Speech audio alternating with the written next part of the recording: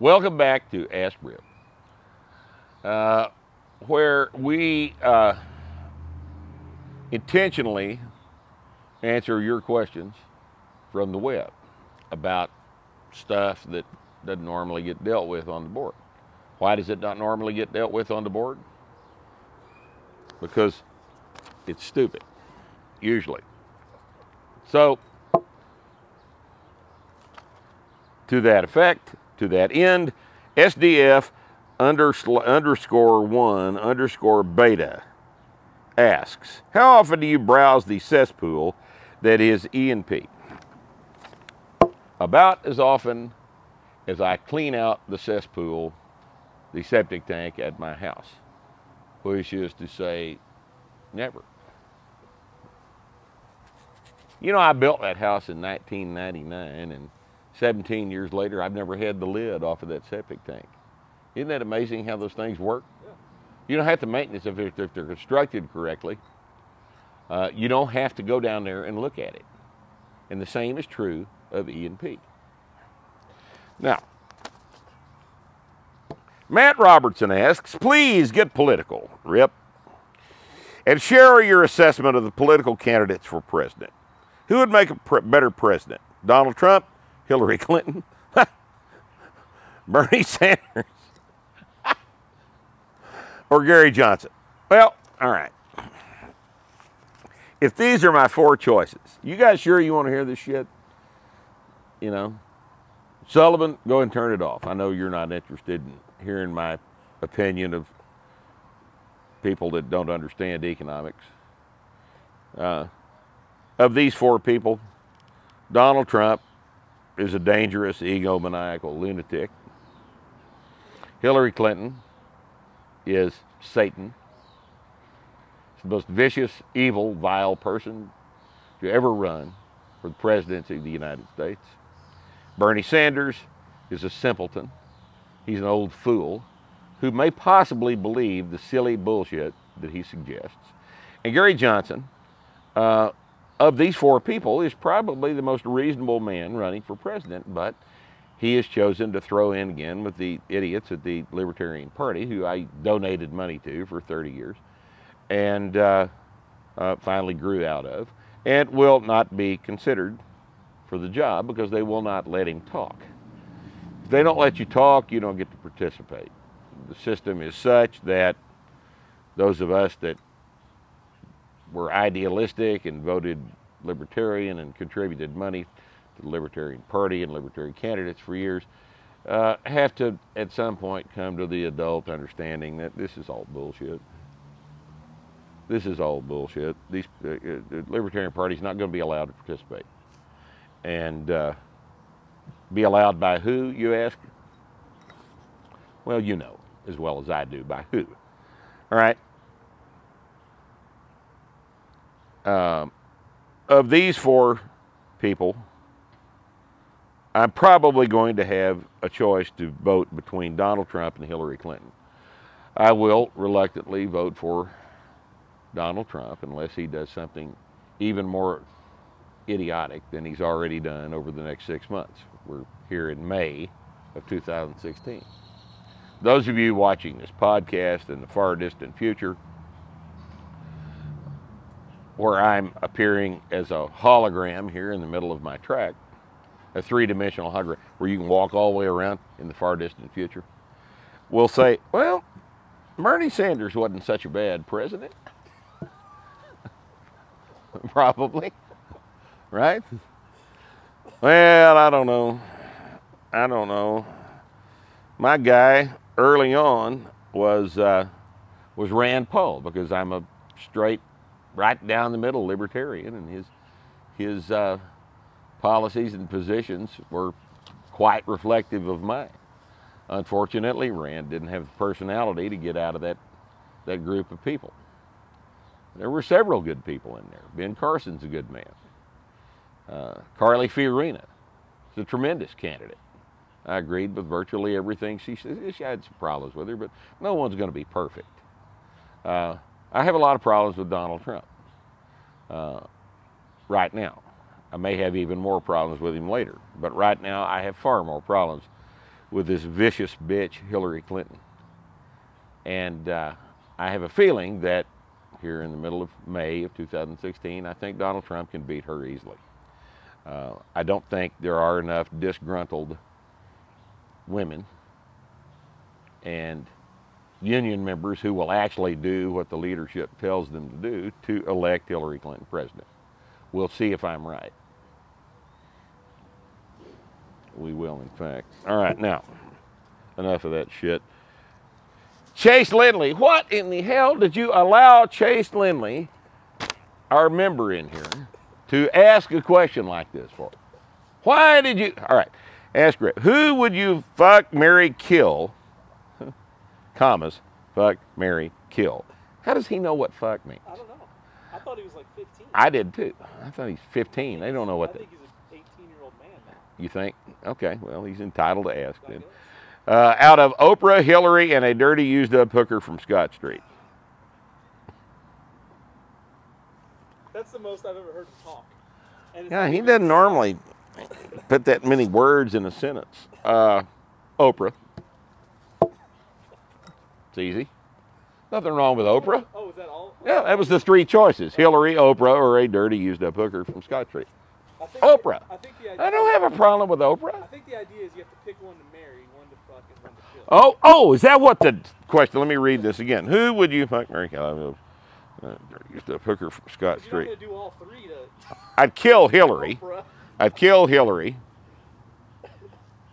I'd, uh, I don't know. I'm not, not into hookers anymore, Chase. It's been a while. Does Chase know how old I am? Uh, probably, he probably thinks you're 35. He may have a charitable assessment of my time here on the planet. Uh, I'm not going to deal with a hooker. Uh, you kill Hillary and you marry and fuck Oprah, I guess. I, I don't know. I don't know if this one is of broadcast quality. You'll have to make the call on that. Okay. Next. What is the greatest threat to American masculinity?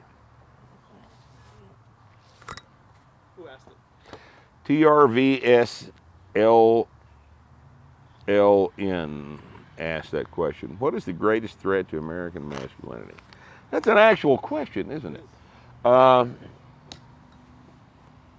well, I think if you think about it just just uh, a second, the first thing that pops into your head is popular culture is the greatest threat to American masculinity because it's not being rewarded anymore. In fact, it's being act, actively, actively, rather actively discouraged. Uh, previous podcast, previous Ask Rip, we talked about the Olympics. All the testosterone things are being actively discouraged now. You look at any advertisement on TV uh, or the radio, and you and you uh, listen to the copy, and men are almost always, with almost without exception, portrayed as morons. Like my favorite one is the the assertive wife comes in, honey, we're going to order new blinds for the house from blinds.com or blindster.com or whatever one of those eight or ten websites there are. And the husband goes, well, honey, what if they don't fit? Well, honey, we can send them back if they don't fit. We'll just send them back and they'll take them back. Well, but it was there's so much trouble to put them up and everything, and I, I just don't know. So we should hire somebody to do it. And she said, No, no, honey, just calm down. Well, I can handle this. I'm a strong woman. And, you know, that kind of thing repeated over and over and over. And it's, uh, uh, it, it's all throughout advertising, it's throughout uh, television shows, and, uh, you know, there's the occasional action adventure movie where the guy is portrayed uh, uh, as a strong male with a gun by an actor in Hollywood who's opposed to, to handgun ownership for some reason. And, you know, so you get some of the, you know, I, I, I tell you what I think is the popularity of the superhero movies, especially the Captain America series, is a direct response to this very thing. You know, I know very few people who don't think that Winter Soldier Captain America: The Winter Soldier was one of the best movies of all time. I agree with that. It's one of the top ten movies that's ever been made. I've watched it four or five times.